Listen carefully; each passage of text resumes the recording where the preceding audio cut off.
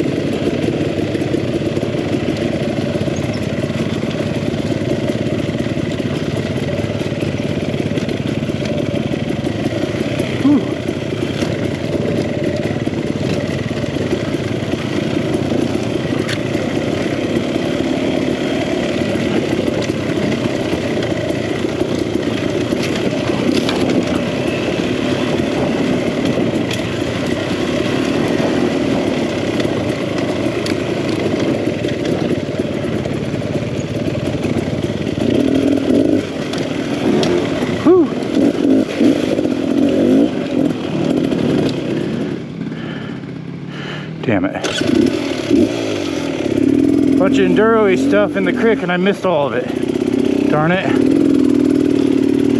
That's alright.